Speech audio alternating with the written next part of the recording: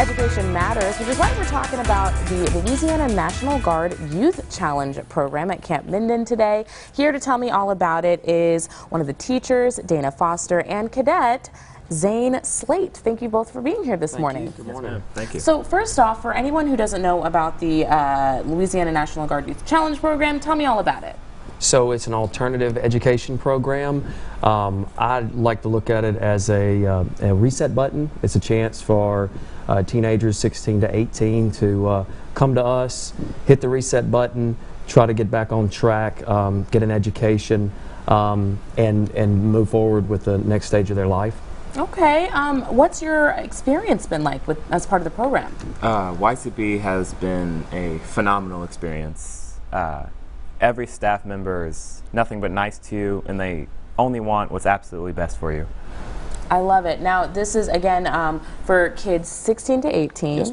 And um, it's for anyone who maybe uh, needs a little uh, help getting some structure going right. and, and, things like that. What's it like um, being one of the instructors?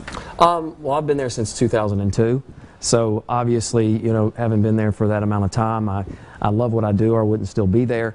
Um, so what I like about it is the structure and the discipline, um, and, and we have a lot of freedom. Um, whether it's the HiSET, which is what we it used to be the GED, but now it's the HiSET. So that's one track that we have, and the other track is um, you have a chance to um, do course choice or credit recovery, and if you get those classes, you're able to go back to your uh, home high school um, to try to finish graduation there. But um, I really enjoy it. Like I said, I wouldn't have been there for 17 years if I if I didn't really love it. It's pretty incredible, and it's changing people's lives now. For you to get involved, there's an interview process that you have to get in on. There's one actually coming up on the 27th at Camp Minden. Can you tell me a little bit about what the interview process is like?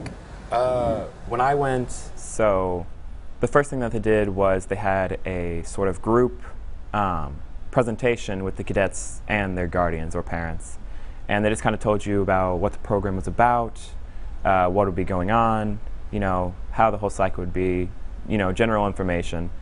And then after that presentation was completed, they split the uh, cadets and the guardians and parents into two different uh, groups, and they gave them separate presentations after wow. that. Wow. So you, when you get ready to go to this interview, guys, be prepared to learn all about the program. Uh, it can be a life-changing experience for sure. I can't thank you both enough for being here to talk to me about this. Yes, ma'am. Yes, ma'am. And we're going to have more information for you about the interview and uh, the process and the program on our website, arklatex homepage.com. Stay tuned.